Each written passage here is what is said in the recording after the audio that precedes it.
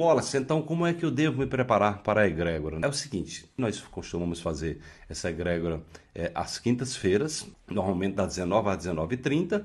E se você estiver em casa, então simplesmente você relaxa, toma um banho, coloca um óleo essencial e fique no estado de receptividade sem expectativas. A expectativa termina gerando ansiedade, então simplesmente você fica no estado de receptividade. Eu não sei se você já recebeu, por exemplo, um reiki à distância. Né? Então, reiki é uma das terapias energéticas mais antigas né? e que também é transmitida à distância usando o mesmo princípio da não localidade.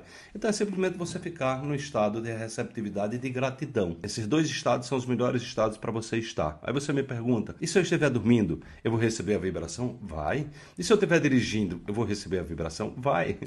É como o oxigênio. O oxigênio está em todo lugar. Você pode estar dormindo, pode estar trabalhando, você vai estar recebendo, porque são ondas eletromagnéticas que vão estar chegando até você. Se eu estiver trabalhando, eu vou receber a vibração? Vai também. Então, independente de como você esteja, você vai receber essa vibração poderosa.